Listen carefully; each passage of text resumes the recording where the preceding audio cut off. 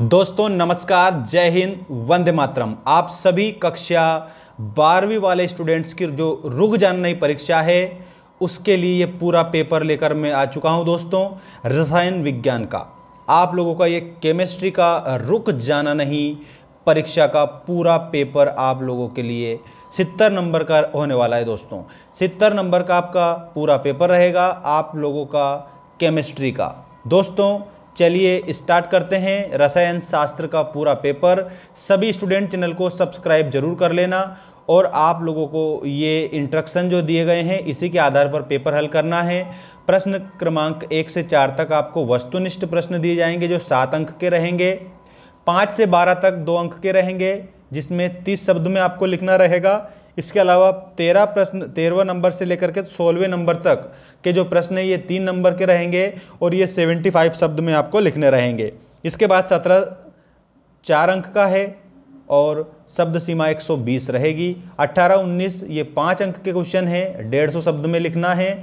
इसके अलावा प्रश्न क्रमांक पाँच से 19 तक सबके आंतरिक विकल्प दिए गए हैं मतलब कि अथवा में भी आप लोगों को प्रश्न दिए जाएँगे।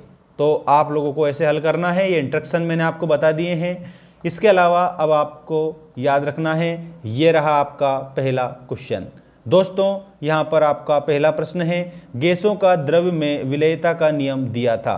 तो इसमें आप लोगों को वांट हाफ़ आपका करेक्ट लिखना है। कैथोड पर होने वाली क्रिया है तो कैथोड पर जो होने वाली क्रिया है, इसमें आप लोगों को ऑक्सीकरण बता देना रहेगा करेक्ट उत्तर के रूप में। इसके बाद देखिए दोस्तों, यहाँ पर किसी अभिक्रिया का वेग अभिक्रिया की प्रगति के साथ क्या हो जाता है? तो यहाँ पर वेग जो है, प्रगति के साथ में क्या हो जाता है? अभिक्रिया का घट जाता है। ठीक है? इसके बाद में ये देखिएगा आपका नेक्स्ट क्वेश्चन पेरा यूरेनियम तत्व वे तत्व हैं जो कि तो याद रखना यूरेनियम के समान। ठीक है? इसमें करेक्ट होगा। इसके बाद में नेक्स्ट आपका क्वेश्चन है एल्कोहल को विषेला बनाने के लिए प्रयुक्त किया जाता है। तो यहाँ पर आपको याद रखना रहेगा कंप्लीट ऑप्शन नंबर सा वाला, ठीक है? इसके बाद में आइसोसाइनाइट परीक्षण देता है।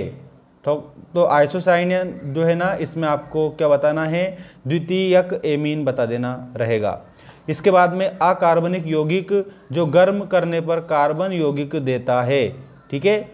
तो इसमें आप लोगों को क्या बता देना है? इसमें आपका करेक्ट उत्तर बता देना, ये रहेगा। इसके बाद अगला क्वेश्चन देखिएगा। ये रिक्त स्थान भरिए वाला आ चुका है और सारे के रिक्त स्थान की पूर्ति मैंने आपके लिए कर दी है दोस्तों। देखिएगा आपका पहला, एसिटिक अम्ल, दुर्बल, विद्युत अपघटक है। संक्रमण तत्वों और उनके यौगिक उत्प्रेरक का कार्य करते हैं। ठीक है, यहाँ खाली स्थान में आपको उत्प्रेरक लिखना था, ठीक है? पोटेशियम पर मैग्नेट का रासायनिक सूत्र तो यहाँ पर ये एम एन ओ फोर आपका हो जाएगा। विटामिन बी ट्वेल्व तो कोबाल्ट का संकुल यौगिक होता है। लूकास अभिकर्मक निर्जल J N C L two तथा जिंक क्लोराइड का मिश्रण हो जाएगा। लाल चीटियों से फार्मिक अम्ल प्राप्त होता है, याद रखना आप सभी करेक्ट उत्तर के रूप में। और ट्राइनाइट्रो टालुइन एक क्या है? ये विस्फोटक पदार्थ है।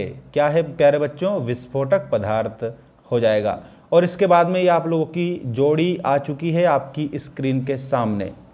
क्लोरोफिल, ये याद रखना आप सभी। क्लोरोफिल आप लोगों का यहाँ पर कंप्लीट उत्तर के रूप में याद रखना है।